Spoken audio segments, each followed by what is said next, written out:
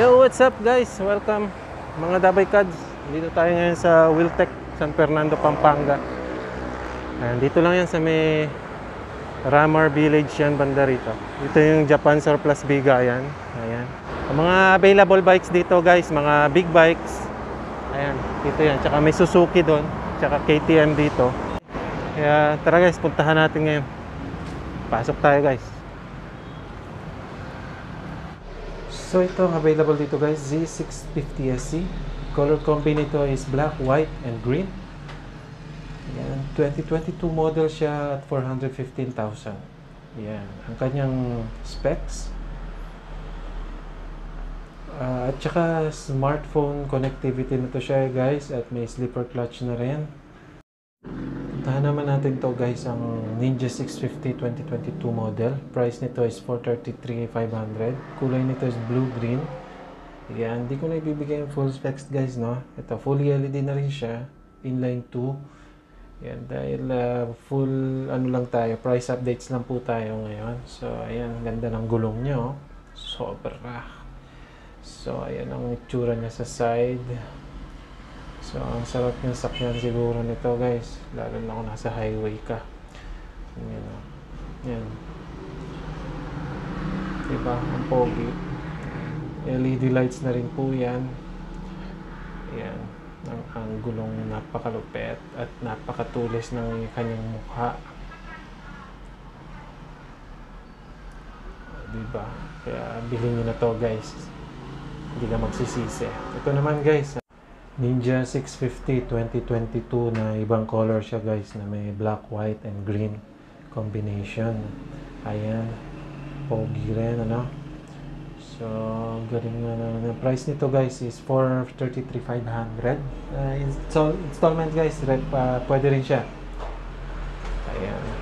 May LED na rin yung ilaw niya. Ito naman guys ang Ninja 400. Diba? Para may black na may brownish ang mga design niya. So, yan. So, ito mas mura dahil uh, 331,000 lang siya. Yan. At ito guys, ang pinakamalupit, The Beauty and the Beast. Ito, ang ZH2. Oh my gosh. Pinakamabilis na naked sports bike dito sa category niya, no? Yan. Ay, ito naman guys ang Vulcan. Vulcan Mayon. Ay, check mo Ito yung Vulcan 900 guys. Kung uh, type mo ay yung papasyal-pasyal ka lang, parang Harley Davidson ng datingan. Ito guys, ang para sa iyo, no?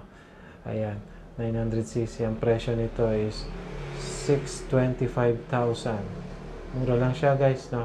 Kayang-kaya nyo na yan guys. Ayan, pwede naman installment guys kung ayaw nyo maglabas ng pera.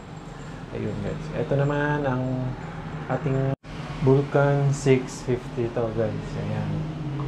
Mas mababa lang ang sisi nito. At um, ayan ang itsura niya sa harap. Presyo naman nito is 415,000. Alright. So, ganda ng kulay niya guys. Ah, para siyang army green na matte. Ganon. Ito naman guys, uh, yung Z900 RS. Ayan, parang cafe racer na big bike talaga. Ano? Ayan. So, ang ganda niya. Classic na classic ang dating. Ayan. Ayan yung harap. Presyo nito guys is 664,000. Ayan. At dito naman, puntahan natin tong at ito naman yung mas lower displacement niya na 650 RS. Ayan. Kulay red siya. Uh, ito yung harap niya. At ang presyo nito is 481,300. So, ang ganda, no?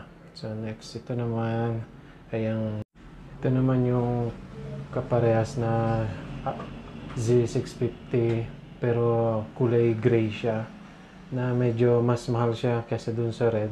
Um, Ayan, ang presyo niya is 469,500. Ayan siya. So, hindi ko lang alam kung ano yung dahilan ba't siya mas mataas presyo, no? So, meron din silang enduro bikes dito, guys. So, ayan. Yung KLX. Ayan. Kulay gray ng kulay. At ang presyo nito ay 150,000. Ayan siya. Meron din sila dito guys, ano, Dominar 400 na swak na swak sa budget at pwedeng expressway gamitin to. No? So, dahil expressway legal na talaga siya. So, naka-indicate na siya sa kanyang RCR. At ang presyo nito ay 203,900. Bali, yan yung update sa prices natin ngayon dito guys. Nasa mga big bikes nila. Ayan. Ayan.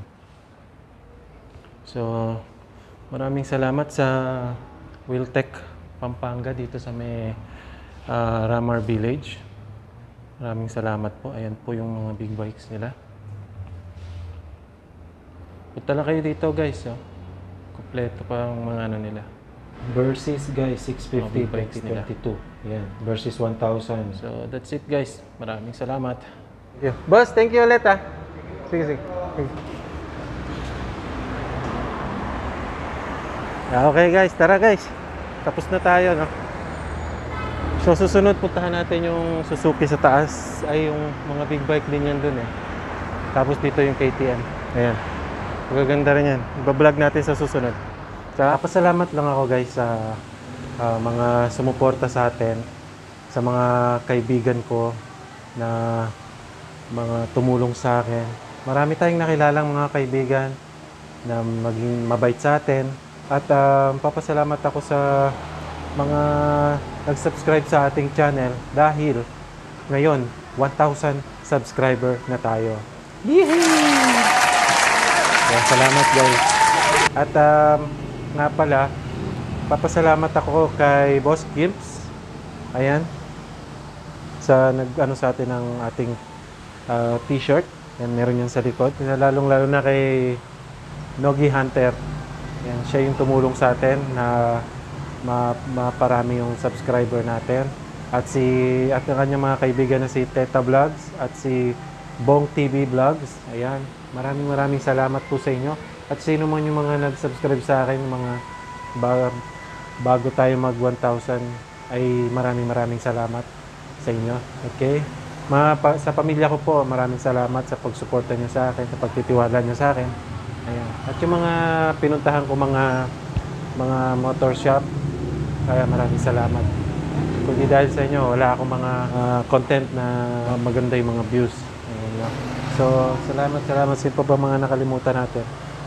Ayan, at kay paring Billy E. Vlogs, maraming salamat din sa iyo sa pagsuporta sa aking channel. So, yan, kay YouTube, yan, pinadala niya tayo ng email na ito,